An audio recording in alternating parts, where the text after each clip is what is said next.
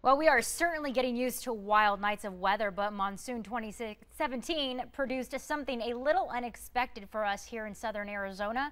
A tornado touched down in Marana last night.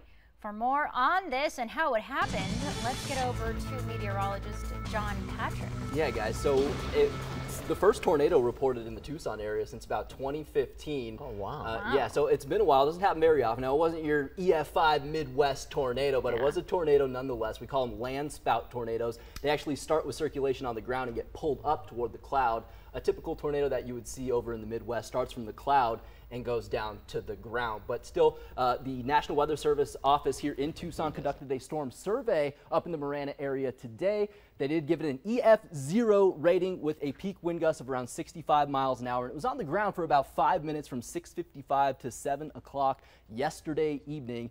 And here we go again. Strong storms moving through sections of Tucson once again, seeing some very heavy rain, a lot of lightning, loud thunder out there right now, especially on the south side of town. Heavy rain coming down along Valencia over toward I-19. This is stretching up through the Tucson estates, starting to move over into the Picture Rocks area right now as all this drifts off to the southwest at about 10 to 20 miles an hour. You can see the back edge of the heaviest rain right now clearing sections of I-10, but we are still tracking another round of showers and thunderstorms moving in from the east So if things have quieted down in your neighborhood right now, you could get another little burst of rain here over the next 20 minutes or so. And we're seeing this line of storm stretch all the way down into sections of Santa Cruz County, starting to move into Sonoita, Elgin uh, as we speak. And we've got a lot of lightning going on uh, with this line of storms right now. I'm going to see if I can put this lightning query uh, on this thing right now and, and see how many lightning strikes we can pick up here. Maybe there we go, about 76 lightning strikes in that box alone in the last half hour or so. And I kind of missed this big cluster here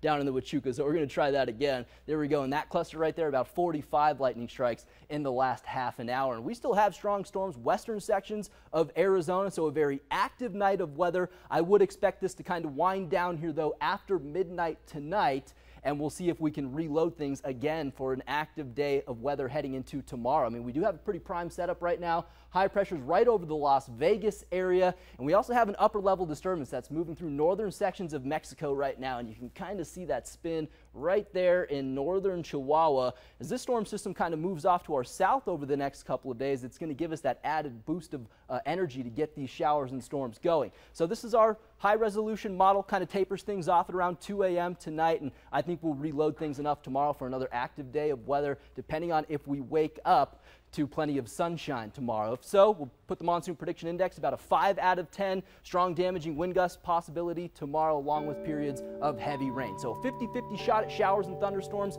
both Sunday and Monday before we tune things down a little bit by the middle of next week. And look at those highs there, guys. Mid to upper 90s for the next six days. Feeling pretty good with the storm chance right now every day.